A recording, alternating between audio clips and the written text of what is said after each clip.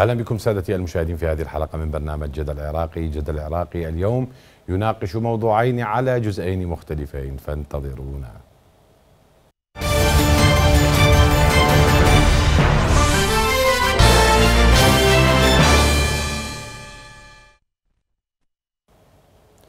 الموضوع الأول الجوار مفتاح الباب على السلطة في العراق. هذا العنوان نناقشه مع رئيس المركز العربي الأسترالي الأستاذ أحمد الياسري ينضم معنا عبر سكايب. مرحبا بك سيدي الكريم. أهلا وسهلا أستاذ انس حياكم الله. نناقش العنوان أول شيء أستاذ أحمد الجوار مفتاح الباب على السلطة في العراق. أكد نعم. أو انفي هذه الجملة. لا بكل تاكيد تحية لحضرتك أستاذ انس وتحية للجميع المشاهدين الكرام. كيف انفي هذا الموضوع؟ هذا الموضوع هو جزء من تركيبة المشهد السياسي العراقي، الفاعل الخارجي. منذ عام 2003 والفاعل الخارجي هو يعني فاعل رئيسي بتشكيل يعني العملية السياسية وخصوصا الجاره ايران يعني فابدا لا أستطيع أن أنفي وأتفق معك. نعم. طيب. كيف آه، رأيت زيارة السيد محمد الحلبوسي الأخيرة. هي ليست مفاجئة طبعا لكن توقيتها يحمل أه، ربما أه، دلالات. دلالات اختلفت عن الموعد الأساسي لزيارة الحلبوسي إلى إيران. هذه الدلالات كيف تراها كيف تقرأها؟ يعني دلالات على المستوى الخارجي وعلى المستوى الداخلي، المستوى الداخلي أيضا ينقسم إلى مستويين، المستوى الأول المستوى المتعلق بقيادة الطائفه السنية والتمثيل السياسي. حالة من الاستقرار السياسي آه، حاصل لم تصدر لها ازمات المكون الشيعي الانقسام كما صدر إلى مجموعة المكون الكردي. ولذلك بدأنا مشهد إعادة بعض الوجوه المعارضة القديمة في المناطق السنية في كنوع من أنواع الضغط الإعلامي والسياسي على آه، الممثلين المكون السني في هذه الدوره، أنا قلت حالة هدوء واستقرار. وهذه نقطة الحلبوس يريد أن يبقي هذا يعني هو شخصية براغماتية ويريد أن يبقي حالة الاستقرار وإبعاد يعني عدم المس بتمثيل المكون السني في هذه الدورة البرلمانية وعدم الدخول في صدام مع آه، آه، يعني قوة شيعية وقوة داعمة يعني قوة خارجية داعمة. هذا هذه الرسالة الأبرز بوجهة نظري. أضاف آه، يعني يريد أن يؤكد الحلبوسي أن الصراع لا زال شيعيا شيعيا وأن الصدر يأخذ قراره من رأسه وأن عملية التحالف التي حصلت لأنه أكثر جاهزية هي الكتلة الصدرية باعتبارها هي الكتلة التي فازت للبرلمان. أعتقد أنه هي عملية يعني آه، ترتيب الأوراق مع مع إيران وتوضيح آه، مسؤولية ودور السيد الحلبوسي وشركاء آه، من العرب والسنة في هذا الموضوع. ولان حضرتك شاهد مثلا تصريح رئيسي وراء نعم. اللقاء بالسيد الحلبوسي يعني كان موجها لموضوع ضرورة تشكيل حكومة وكان يعني أشبه بالتدخل يعني ليس خطابات سابقة كان يرسل قاعاني ويحمل رسائل من المرشد ومن رئيس الجمهوريه الان لا.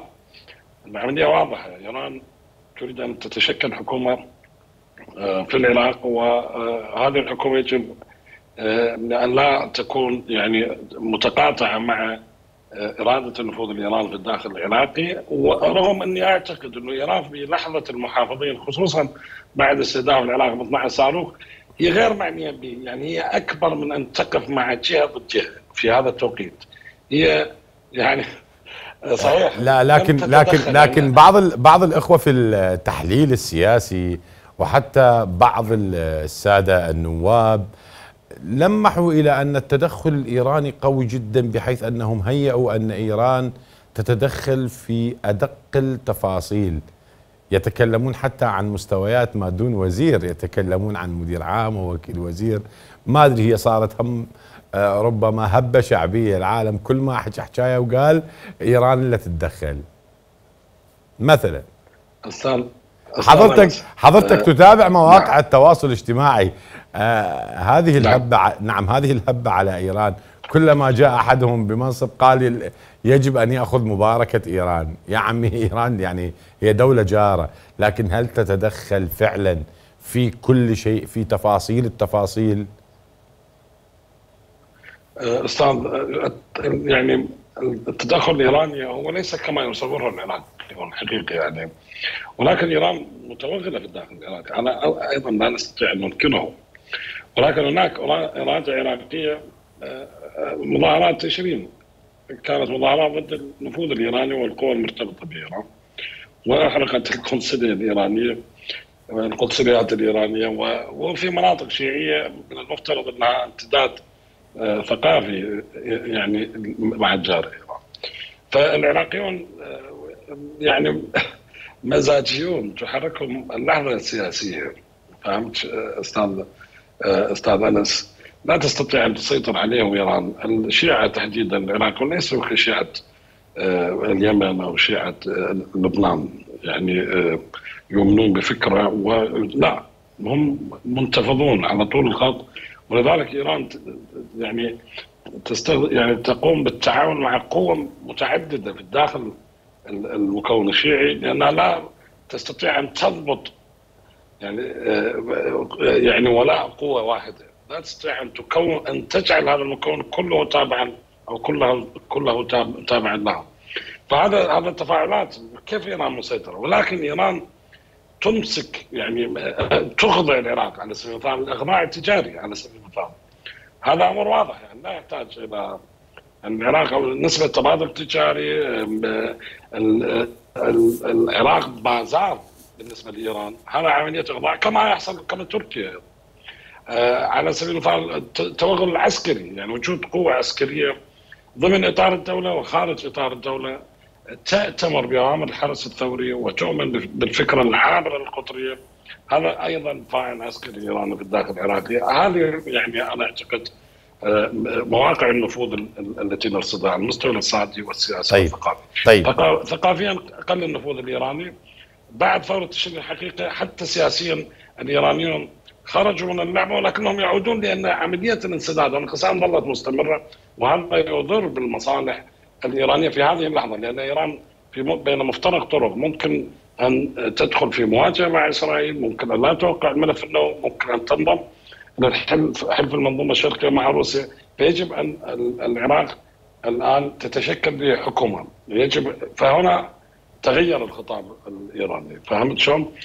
هذا هذا شكل النفوذ الإيراني في الداخل العراقي بحسب وجهة نظري ولكن ولكن تعرف حضرتك أن العراقيين يعني دائما ننزعج ونبالغ لا ولدينا ولدينا مواسم ولدينا مواسم للكلام عن إيران. يعني آه، لدينا موسم في منتصف نيسان مع آه، ذكرى تحرير الفاو ولدينا موسم في آه، أوائل آب يعني ذكرى انتهاء الحرب. هذه مواسم نعرفها في العراق ربما. أريد أن أعود إلى بعض النقاط التي ذكرتها أستاذ أحمد. القيادة السنية تعتقد أنها ما زالت بحاجة إلى ما يشبه المباركة الإيرانية لكي آه، تسير بخطاها الثابتة في العملية السياسية. وهذا هل نسميه اتهام؟ هذا الاتهام هل هو صحيح؟ شو أستاذ أستاذ؟ يعني تقريبا على في مع في السياق ردينا على جزء من هذا السؤال. ولكن آه، حتى أتوسع بالإجابة عليه. أنا أعتقد إنه آه، الطائفة السنية آه، أنا أسميها يعني الطائفة التي تصدر النخب الحاكمة في العراق. يعني لديهم خبرة الحقيقة. وهذا موضوع ثقافي وفلسفي. يعني هذا موضوع متعلق فقه السنة على المثال فقه التصالح مع الدولة بعكس الشيعه فكر معارض يعني منذ نشوء التشيع وإلى يومنا هذا ويؤمن بفكرة المعارضه السلطة وليس حتى يعتقدون إنه انه فقه السلطة هو فقها سنيا خالصا الشيعة ليس لديهم فقه فقه سياسي إلا مؤخرا يعني فهمت؟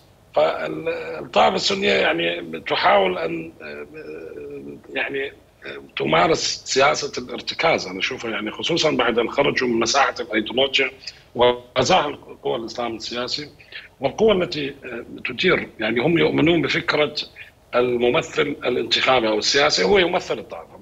الشيعة لا. الشيعة الممثل السياسي لا يمثلهم.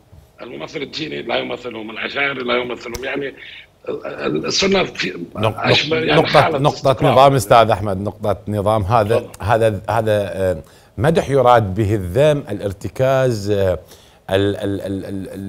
الفائز بالانتخابات. هذا يشير إلى شيء يشير إلى أننا نتكلم الآن عن دكان انتخابي ولا نتكلم عن شخص لديه ايديولوجيا لا أستاذ انس أنا أقصد المرجعية يعني انت سالت عن الطائفة السنية. مرجعية الطائفه السنية السياسية آه، في هذه اللحظة تنتج صناديق. يعني القوى التي تفوز بالانتخابات آه، تحصل على التمثيل. بعكس بغض بغض بغض النظر عن خلفيتها الأيديولوجية وبغض النظر عن تاريخها. هذا يؤشر نعم هذا يؤشر إلى شيء أستاذ أحمد. يؤشر إلى أن الموضوع بات محصورا سياسيا لدى السنة بما ينتجه الدكان الانتخابي. أنا أتفق مع مع هذا الرؤية أستاذ. ولكن دعني فقط أخوض بها بشكل مبسط. فلذلك هذه يعني أريحية الترتيب بالنسبة للقوى السنية الفائزة بالانتخابات تجعلها في حالة ارتكاز كما عبرت. ولذلك يحاول يعني حتى صفقة أنا يعني عبرت عن صفقة تجاريه في حلقة من حلقاتنا أستاذ أنس. يعني حتى طريقة الخلافات ليست عميقة. يعني اتفقوا آه، شخص يكون رئيس قائمه وشخص رئيس برلمان. يعني ممثل برلمان وممثل بالقائمه وانتهت المشكلة. نعم. بعكس الاكراد والسنة حصلت انقسام عميقه انقسامات عميقة. فلذلك أنا أعتقد الجزء المتعلق بهذه الحيثية زيارة السيد الحلبوسي هي ليس لمباركة إيران لأن إيران غير متدخلة بهذا الموضوع. يعني موضوع إيران لا تفرض على السنة ان أن يمثلهم الحلبوسي ولا تستطيع أن تفعل هذا. الموضوع متعلق بصناديق الانتخاب. ولكن آه، القيادات السنية آه، بما أنه هي تشترك مع الشيعة وهذه الأحزاب الشيعية بالغالب يعني لديها علاقات مع إيران فتحاول أن تضمن مصالحها. يعني أن تكون في مساحة آه، ليس مساحة المواجهه مع مع يعني إيران ورساله قصف اربيل يعني ستكون حاضرة في حوارات أو حضرت في حوارات سيد حموس بحسب وجهه نظر ولو بشكل ضمني. ف يعني ضمان مصلحة المكون السني في مناطقه أن لا يكون جزء من الصراعات التي ممكن أن تكون قادمة. نحن لا نعرف. إحنا امام مفترق طرق. ممكن بعد هدنه صدر يحصل صدام وممكن يحصل انفراد يعني الاحتمالين واردين. فهنا الأكراد والسنة يريدون أن يعني يضبطوا المساحة التي سيتحركون بها في حالة صدام أو في حالة وهي خارج مساحة الانقسام الشيعي. طيب. الشيعي يعني خصوصا قوى الإطار تريد أن تدخل السنة في الانقسام، تريد أن تجعل هناك انقسام سني سني وهذا وهذا ما حصل فعلا وهذا ما حصل فعلا، من يحلل المشهد العراقي اليوم يجد أن البيوتات العراقية إن صحت تسمياتها طبعا يجد مثلا أن الموضوع كان محتدما جدا في البيت الشيعي كان مستقرا على لا شيء في البيت الكردي كان مستقرا جدا في البيت السني. اليوم القلق الكبير في البيت السني ثم يليه البيت الكردي. آخر تصريح طبعا للسيد غياث السورشي على الاتحاد قال لم نقبل عرضا قديما للحزب الديمقراطي الكردستاني بخصوص موضوع رئاسة الجمهورية. اليوم مثلا النائب عن الفتح السيد رفيق الصالحي قال أن آه، هنالك خروج متواصل لنواب آه، عن التحالف الثلاثي وأن هذا الأمر سيحلحل الأزمة. هكذا وصفه. نعم. شوف أنا أعتقد إنه التحالف الثلاثي هو يصدر الصدر. يعني القوى السنيه والكرديه والكردية. هي ليس لديها إشكالية في من يعني يكون في مقدمة. تصدر الصدر أم تضع الصدر في الواجهة؟ يعني هنا السؤال. هو هذا ما أقصده. يعني أن يكون الصدر في في الواجهة مقابل الدعم طيب. هي تريد أن تنى يعني لا أن تصطدم بقوة شيعية منافسة. لأنه حتى لا تتهم بأنها هي التي تبث التفرقة بين بين الشيعة. فلذلك يعني حريصون يعني دائما الصدر هو الذي يتحدث ويبدو أن هناك اتفاق يعني يعني الموضوع هذا الائتلاف هو مبني على الحصص ومبني على أرقام المقاعد عدد المقاعد وكذا. فإذا جاز له أو استطاع أن يحوز على تشكيل حكومه فستتوضح المكاسب بكل قوى مشتركة بهذا الائتلاف لانها يعني هو يعني هو أشبه بالتحالف الوظيفي الذي يرتكز على فكرة الخطاب الداخلي العراقي المتناغم مع يعني خطاب تشرين أنا هاي رؤيتي يعني. يعني كل ما يطرحه موضوع الأغلبية مغادرة التوافقية حكومة قوية برلمان قوي محاسبة قتلة المتظاهرين. هو هذا ما يطرحه التحالف الثلاثي وهي في الغالب هذا طرحت في ثوره تشرين هذه شعارات ثوره تشرين فهناك محاولة تناغم مع الشارع يعني يقوم بها بعكس الإطار. الإطار يطرح أفكار قديمة توافق ومحاصصة وغيرها يتهم كل المعارضين آه، أو المحتجين بأنهم أبناء سفارات وجوكرية. آه، يدخل في حالة صدام حتى مع التحالف الثلاثي يستخدم بعض الفصائل العسكرية المرتبطة به لتوجيه ضربات ورسائل توجيه لكن رسائل لكن الا الا ألا, ألا تلاحظ سيد الياسري وبصراحة نعم. أن الإطار التنسيقي يمتلك تنسيقا عاليا في مستوى الخطاب. لا يوجد تفاوت بين خطاب مثلا السيد هادي العامري والسيد أحمد الأسدي والسيد نور المالكي. لا يوجد فرق فردي يلاحظ إلا قليلا. يعني لا تجدهم ابدا يتضاربون في موضوع التصريح. وبالتالي فإن رؤيتهم أمام الإعلام وبالتالي أمام الرأي العام رؤية موحدة وهذا يحسب لهم. يعني أنا ما عرفت بقوة الاطار هي ليست موحدة. وهناك خلافات أتكلم عن الخطاب. نحن نحن ماذا نتلقى؟ نحن نتلقى الخطابات. أنت تعرف. ممكن أن أتفق معك. ولكن يا أستاذ أنس آه، يعني حضرتك تعرف إنه هذه هذا هذا تحالف القوى الخاسرة فالقوى الخاسرة هي يعني كمن يحتضنوا قشا يخرجوا من نهر فهمت؟ لكن لكنها قد تكون قشه وصفتها بالقشه لكنها قد تكون القشه التي تقسم ظهر البعير ممكن ممكن ممكن وبالفعل هو البعير كان يعني حصته الثلثين يعني والآن اصبح يستجدي الآخرين لكي يكون ثلث فهمت؟ فممكن طبعا هذه القشه قد تقسم ظهره. ولكن آه، أنا أتحدث عن فكرة الانسجام صحيح. هذه القوة غير منسجمة. وكيف ينسجم العبادي مع آه، على سبيل المثال أستاذ أنس مع آه، الخزعلي على سبيل المثال؟ صعب جدا هذا. لا لا لا هو هو هو إحنا نت... خلينا نتفق خلينا نتفق أنه الشخصيات الإطارية أكو اطاري آه، يعني شديد متمسك ببعض الآراء واكو إطاري إذا صحت التسمية سوفت هذا نقدر نقول عليه عنده مراجعات وعنده أيضا تقبل للآخر لفكرة الآخر. يعني مثلا ائتلاف النصر في لقاءات مع آه، قياديين آه، فيه كانوا يتبنون أمور لا يتبناها الكثيرون من الإطار آه، التنسيقي. لديهم رؤاهم التي تحاول أن تقرب وجهات النظر لا أن تمسك بطرف الخيط مثلا. أستاذ أنس ليس ليس لها قيمة. هذه الرؤى بما أنه جزء من هذا الإطار ليس لها قيمة. فهمت؟ فلذلك أنا عبرت قلت لك هذا تحالف الخاسرين. يعني هذه القوى المعتدلة التي آه، آه، يعني آه، تذهب تجتمع مع بالتحالف مع قوة متطرفة أو يمينية لنقل يمينية حتى لا نتهمهم يعني فهذا هذا كيف يحصل انسجام؟ كيف كيف نثق باعتدال هذه القوى؟ أبدا هذا تحالف خاسرين العمادي لو كان منتصرا لذهب مع الصدر فهمت؟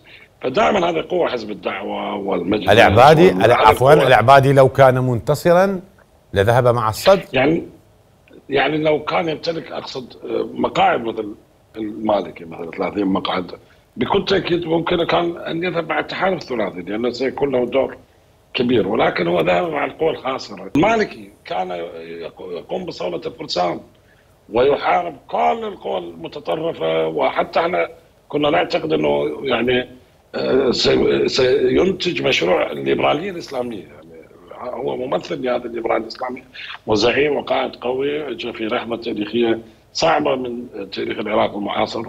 الآن هو عراب الميليشيات. يعني قصدي إنه كلهم ميليشيات كلهم قوة فصائلية يعني فهمت؟ وعراب عراب هو الآن الانسداد الحاصل من أبرز أسبابه هو السيد مالك فهذه قوة تعود إلى قواعدها الطائفيه طيب. لذلك لا نثق باعتدالها طيب. طيب. إحنا يجب أن يتحول خطابها إلى واقع نراه يعني. أما كلام اريد نعم نعم أستاذ أحمد. أريد العودة إلى البيت السني. ذكرت أيضا نعم. في حديثك انه أن الحلبوسي أستاذ أنس راح راح تورطنا ويا القوى السياسية السنية اليوم.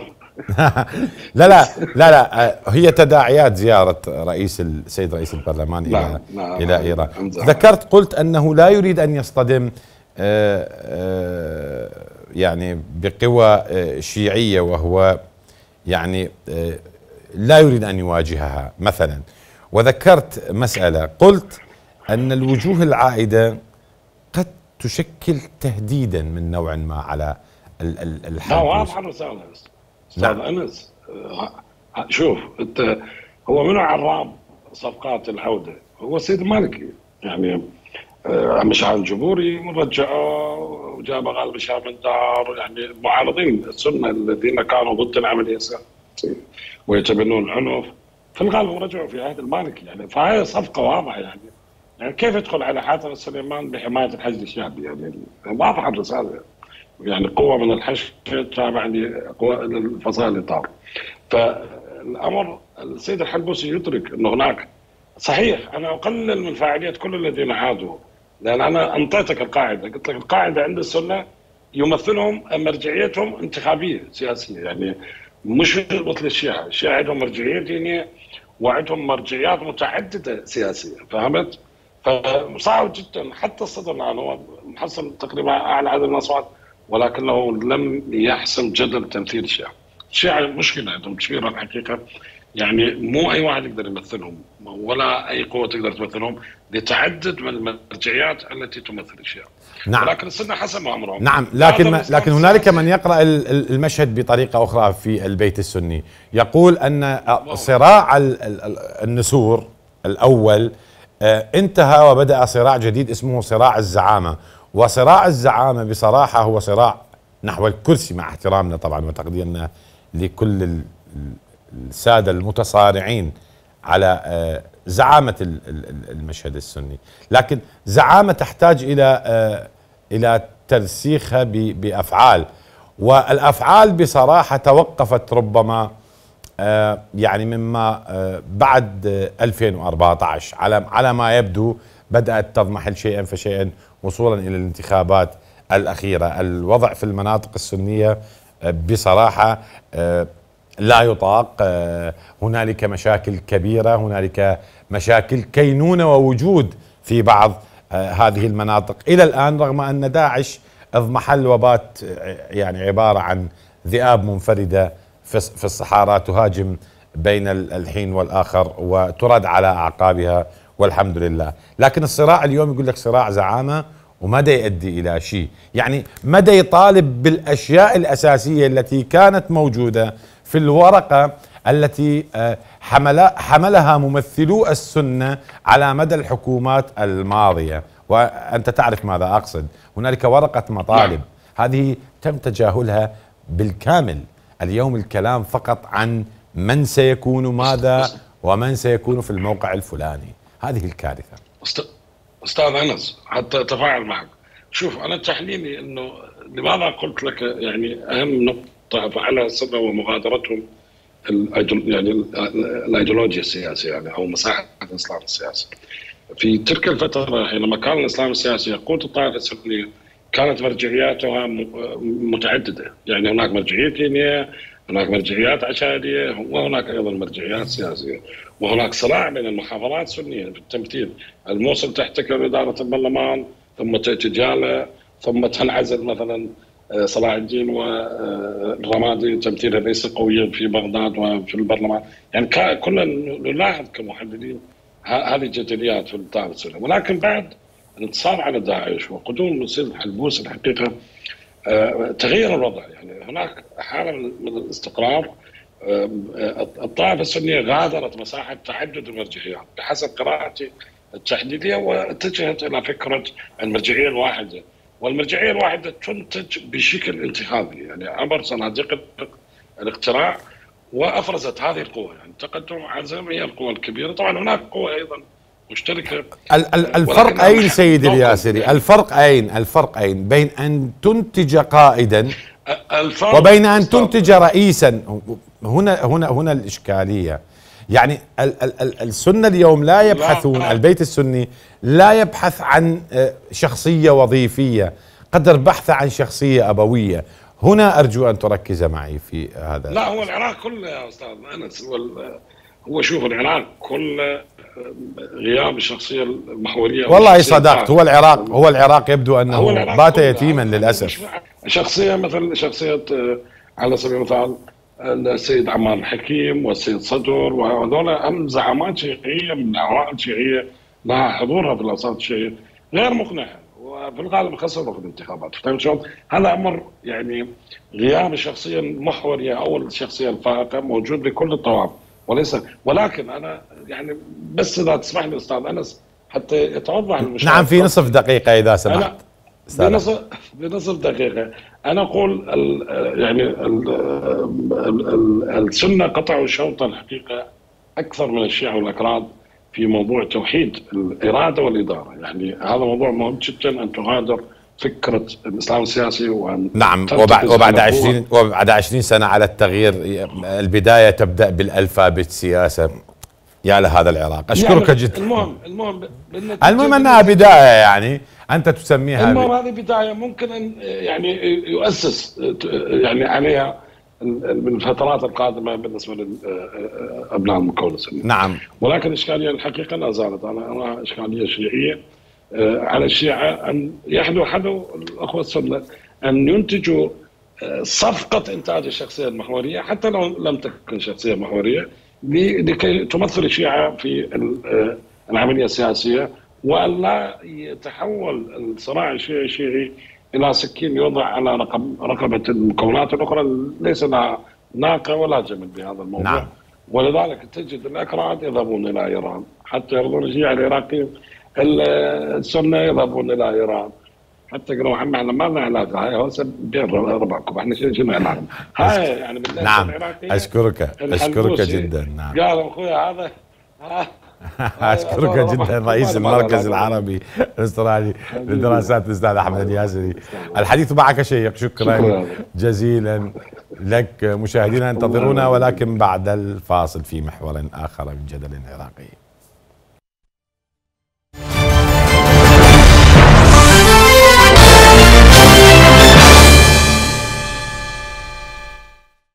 أهلا بكم في هذا الجزء من برنامج جدل العراقي ومع اقتراب العيد آه، اخترنا عنوانا عن الوضع الاقتصادي الحالي عراق الكساد والغلاء والوعود الكاذبة و و وضعوا أمامها كل الصفات التي باتت تنطبق على الاقتصاد العراقي الكسيح.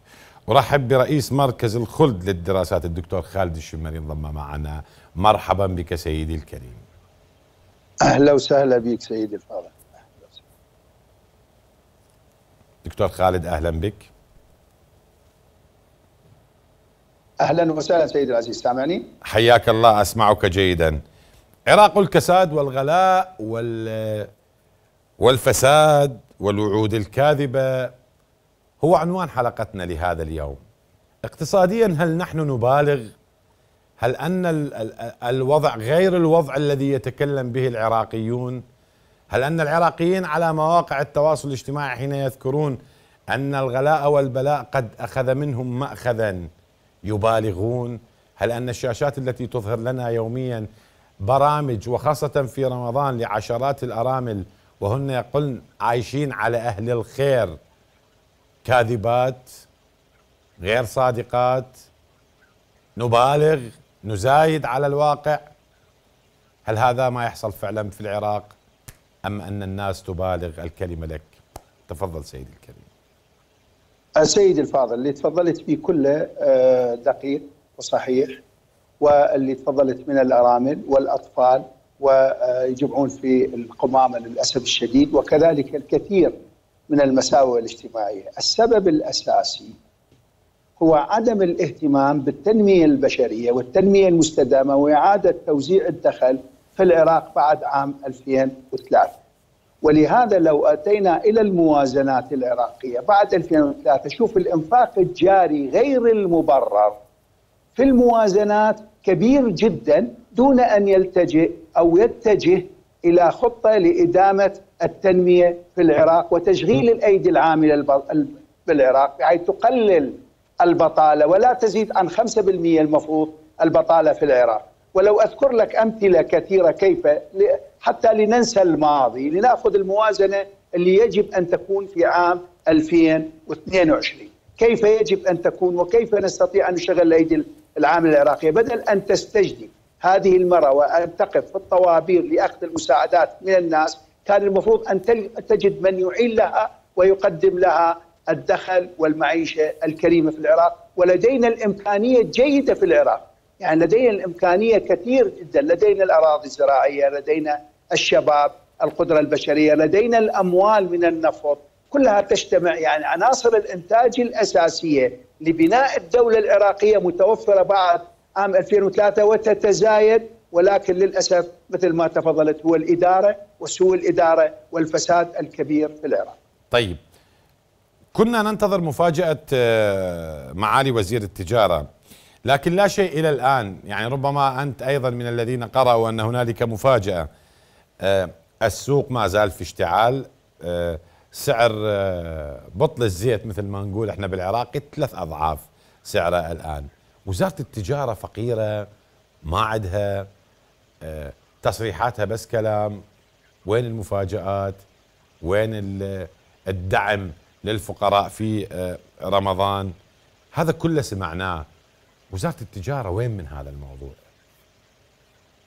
أعطيك مثلين اثنين. من موازنة 2019 الموازنة التي تقول لوزارة التجارة التخصيصات لها 3440 مليون دولار. هذه تستطيع لو استوردت للحاجة المحلية تستطيع أن تغطي الاحتياجات في بطاقة تموينية للفرد العراقي المحتاج وليس أوزعها على رئيس وزراء وزراء وكذا لا أوزعها كم لدي من المحتاجين العراقيين أوزعها على المحتاجين العراقيين تغطي هذه البطاقة التموينية بهذا المبلغ التي تستورده وزارة التجارة. بالإضافة إلى ذلك نحن ندفع إلى الشؤون الاجتماعية 4100 مليون دولار. هذه لو قسمتها أعطيك مثل بسيط جدا. لو قسمتها على 600 دولار أنطي بمعدل شهري بالإضافة إلى البطاقة التموينية للمحتاج العراقي. يعني أنا لو وزعتها على مليون أحتاج إلى 600 مليون. اذا لدي 7 مليون شخص أستطيع أن اعطيه بهذه المبلغ المرصود في الموازنة للعراقيه بالإضافة إلى 3440 آه، مليون دولار أوفرها للبطاقة التموينية. اذا أين تكون لدي الحاجة لأن تستجدي العائلة دكتور دكتور خالد أكو 7 مليون عراقي أكو 7 مليون عراقي يقدرون كل واحد بيهم يستلم 600 دولار بالشهر؟ طبعا هذا المبلغ اللي عندي الآن سيدي العزيز المبلغ الذي لدي أي؟ 4100 مليون لوزارة العمل والشؤون الاجتماعية. طيب. هذا المبلغ في الموازنة طيب. سيدي العزيز. هذا المبلغ يعني أعطيك لو أخذنا ليس في الشهر 600 لا سنويا أنا أتكلم. ها سنويا. ليس شهريا. سنويا سنويا. حتى نكون دقيقين. نعم. طبعا طبعا. لأنه هذا ما يحتاج الفرد إلى مع البطاقة التموينية لتوفير المهمات الغذائية الأساسية له البروتين اللي هي اللي هي ما فوق ال 1500 سعره على ما أعتقد هكذا محسوبة. بالضبط. بالإضافة إلى الرعاية بالإضافة إلى وزارة التجارة ما توفره من مواد هي 3440 مليون دولار تخصيصات هذه المبلغين يعني إجمالي المبلغين 7 مليار و540 مليون دولار. هذا هو الأساس اللي ممكن هذا فقط للاحتياجات. كنا ممكن أن نزيد هذا المبلغ لو كانت في الموازنة إدارة جيدة بتخصيصاتها الأساسية مع المبالغ الاستثمارية بتشغيل الأيدي العاملة نقلل البطالة نقلل الاحتياجات السكانية من هذه البطاقة التموينية ومن الرعاية الاجتماعية بحيث يكون العدد أقل الذي وممكن أن نزيد من 600 إلى 1000 دولار بالشهر. ونصنع تنمية هو هذا المهم. نصنع تنمية نصنع قطاع قطاع خاص نحيي القطاع الزراعي. هذا الكلام وين؟ تسمعين يا وزارة التجارة. طيب وزارة التجارة هل مهمتها؟ طبعا إحنا اليوم مو في معرض التهجم على وزارة التجارة بس نعرف كعراقيين وزارة التجارة هل من مهامها فقط أن توزع البطاقة التموينية دكتور خالد؟ لو أكو مهام أخرى. وزاره التجارة كل وزارة لها دورها. يعني لنأخذ التنمية وزارة التجارة تستورد المواد الغذائية. ممكن أن تكون هي لن تدخل المفروض وزارة التجارة إذا دخلت تكون منافس إلى القطاع الخاص بأفضل الأسعار، لماذا بأفضل الأسعار؟ لأن وزارة التجارة لن تستورد مثل التاجر العادي 10000 طن و20000 طن وإنما تستورد مليون طن من من الحبوب والقمح، عندما تستورد بهذه الكميات تكون المنافسة بالتجهيز من المصدرين عالية جدا بحيث تأخذ بأفضل الأسعار وأحسن النوعيات لتوفيرها للمواطن العراقي، ولكن للأسف الشديد وزارة التجارة أحيانا لن تكون منافس جيد بأخذ أفضل الأسعار وبأفضل النوعيات وتقديمها للمواطن العراقي. كذلك البطاقة التموينية لم تكن بسلة غذائية جيدة تعطى للمواطن العراقي بحيث تسد الحاجة المحلية له، والآن الأزمة الأساسية بعد الحرب الأوكرانية الروسية كان المفروض وزارة التجارية تجارة أن تأخذ الإنذار المبكر منذ زمن لأي احتمالات وتضع الخزين الاحتياطي اللا يقل عن ستة أشهر إلى المواطن العراقي ويصل بطريقة سهلة وجيدة وتغطي الحاجة الأساسية اللي إحنا نسميها للأيض القاعدة أي لما يحتاجه الفرد العراقي من سعرات حرارية من هذه المواد لوزارة التجارة التي تستورد. نعم، وهذا الموضوع لا ينطبق فقط على المواد الغذائية، ينطبق على أمور أخرى. نتذكر ربما في الثمانينات كانت هنالك ما تسمى بالمؤسسة، هذه تجهز الفلاحين بالعدد الزراعية وغيرها وكانت أسعارها تختلف تماما عن الأسعار المتأتية من نشاط النشاط التجاري الخاص. نتذكر ذلك. فهذه أين أيضا؟ وأعطيك أمثلة. أعطيك مثال حي في هذا. سمحت. أعطيك مثال بحيها كانت المؤسسة العامة للتجهيزات الزراعية اللي تفضلت بتلك السنوات تعطي إلى المزارع العراقي هذه أسعار مدعومة وأسعار تشجيعية لأن يكون هنالك تنمية في القطاع الزراعي وأصبحت تنمية رغم الحصار كانت هنالك تنمية حتى لا نكون المقارنة لزمن معين وإنما أذكر لك بعد 2003 بعد 2003 صارت المبادرة ب 300 مليون دولار للقطاع الزراعي أن نعطي تسهيلات للقطاع الزراعي. التجهيزات الزراعية ماذا تعمل؟ هذه الدائرة؟ شوف شو تعمل؟ أنه إحنا نعطي إلى المزارع قروض بدون فوائد. هي تستورد المكائن والآلات والبذور وتأخذ عليها عمولات 16% أنا أعطيها للقطاع الخاص وهو ينافس ولا أعطي أي تسهيلات 16% ويذهب المزارع يختار الآلة الماكينة الزراعية ويختار ما يحتاجه دون أن يدفع 16% ويسدد لي القرض. من المبادرة الزراعية شرط أن تكون هنالك دراسة جدوى لهذه المشاريع وعملناها.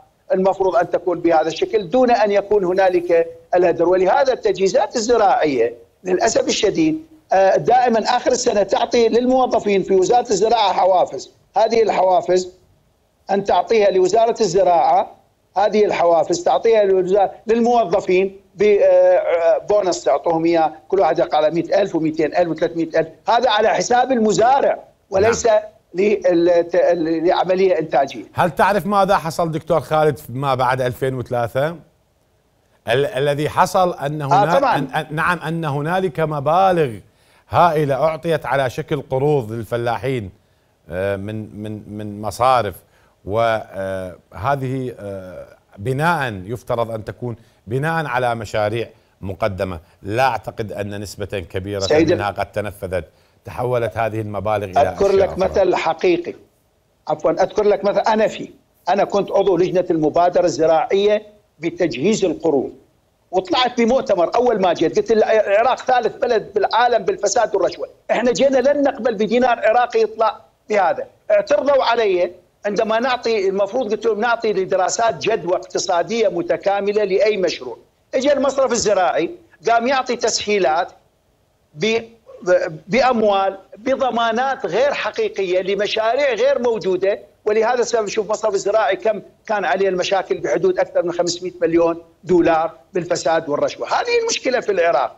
لا يستطيع يعني لن تعطى حتى القروض، الآن أين المبادرة المبالغ المبالغ المدورة من المبادرة الزراعية أن لا تقل عن 2200 مليون دولار مدورة. أها. المفروض هذه موجودة وأدورها للقروض الزراعية، أين هي أموال المبادرة الزراعية لتدويرها في لتنمية القطاع الزراعي، هذه المشكلة الأساسية، ولهذا أنا بالأمانة تركتهم وما قدرت أستمر لأن حصلت لي ضغوط كثيرة وخفت على نفسي. ورجعت، هذه المشكلة الأساسية بالعراق، لا يوجد أخي العزيز خفت خفت على نفسك خفت على نفسك من ماذا؟ يعني هل وصلت الأمور لأنه ما قالوا لي يطلع لأنه أنت ليه لماذا تعطي هذه التسهيلات ضمن دراسات جدوى دون أن تعطيها لزيد وعمر من الناس بدون أن تكون هنالك مردود؟ أعطوها لناس لا تستحق أن تست... أن تكون هذه المشاريع. يعني تصور واحد يريد يسوي مشروع 10000 نخلة 16 مليون دولار. فأنا كان تعليقي له أن تذهب هذه أعملها في فندق الشيراتون أفضل ما تعملها مزرعه لإنتاج النخيل في العراق. وسماها باسم يعني للأسف الشديد حتى يؤخذ هذه هذا لا تجوز. هذه ما موكول أنا علي أن أعمل قطاع زراعي متكامل يعني الآن لو عملنا القطاع الزراعي من عام 2008 لما كنت لحد الآن كان الآن الإنتاجية الزراعية في العراق والإنتاج الزراعي من الحبوب أن لا يقل عن 12 مليون طن. بدل الآن ننتج بحدود 3 مليون طن بسهولة. ليس أتبع حتى الإنتاجية العالية. يعني لا أقول أنا أتبع إنتاجية الأردن وسوريا الأردن والسعودية. انتاجيته تنتج بالدونم العراقي أكثر من طنين إحنا لا ننتج أقل من من 700 كيلو في أحسن الأحوال. هذه المشكلة في العراق لأنه لا توجد إدارة لا نعطي التسهيلات لا نأتي بالاستثمارات الحقيقية للقطاع الزراعي بالعراق. ليس فقط القطاع الزراعي القطاع المتكامل. يعني يعني يا أخي العزيز نحن نستورد من إيران ومن تركيا 18 مليار دولار من سلع استهلاكية نستطيع أن ننتجها بالعراق. يعني العراق ما يستطيع أن ينتج الألبان الأجبان البيض الدجاج حصر على العراق. الاسمده حصر على حصر على العراق والله يا دكتور خالد للأسف. حصر هاي يا أخي العزيز حصرة كبيره الآن. حصرة كبيرة موجودة. على العراق أنا أنا شخصيا أنا شخصيا بات لدي إيمان وأنا أعيش على آه، أرض هذا البلد أصبح لدي للأسف. وشاب شعري أصبح لدي إيمان أنني أعيش للأسف في دولة فقيرة. أنا أشكرك جدا رئيس مركز الخلد للدراسات.